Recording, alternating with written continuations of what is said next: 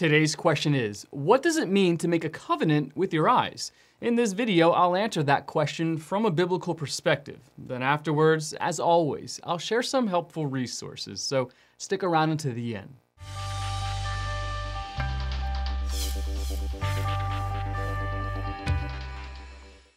In Job chapter 31, verse 1, Job says that he had made a covenant with his eyes, a promise not to look at something. I made a covenant with my eyes not to look lustfully at a young woman. It is clear that Job was speaking about his personal purity. In defending his conduct, Job says that he worked diligently not to look at young women in impure ways. Job chapter 31 includes Job's final defense of his integrity. Here he lists many positive things he had done to walk with integrity before the Lord. Part of living a life above reproach is avoiding lust, and an integral part of avoiding lust is controlling what the eyes are allowed to view. In Job chapter 31, verse 4, Job offers the reason he would not look at women in sinful ways. Does he not see my ways and count my every step? Job understood that God sees everything we do. There is no way to hide anything from God, including our sin. If we are looking at things that we should not look at, God knows. Job sought to live his life accordingly. The principle of making a covenant with our eyes is a good one for us in this day of rampant pornography. Like Job, we are to live knowing that God sees everything we do. This includes our thoughts and actions. From entertaining lustful thoughts to stealing lascivious looks to other sexual actions outside of marriage. The idea that God sees everything we do should serve to purify us. Nothing in all creation is hidden from God's sight. Everything is uncovered and laid bare before the eyes of him to whom we must give an account. Hebrews chapter 4 verse 13.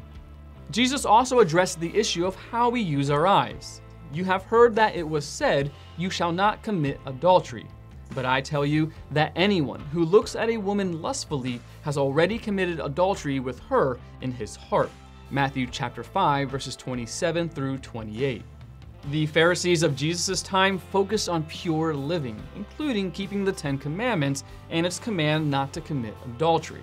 However, Jesus spoke not only to the command, but also to the motivation behind the command. God desires purity of heart, God's standard is higher than ours. It's not just the letter of the law that God cares about, but the spirit in which it's kept. James chapter 1 verse 27 says that religion that God accepts as pure and faultless includes keeping oneself from being polluted by the world. Part of being unpolluted in this world would have to involve maintaining a pure thought life. Sexual purity is an important aspect of the Christian life. Do not offer any part of yourself to sin as an instrument of wickedness, but rather offer yourselves to God as those who have been brought from death to life, and offer every part of yourselves to Him as an instrument of righteousness. Romans chapter 6, verse 13. Every part of yourself includes the eyes. In many ways, our eyes function as gates to the mind, and we must be vigilant gatekeepers to avoid admitting sin. Job made a promise to himself to guard his eyes around women, and his example is worthy of emulation.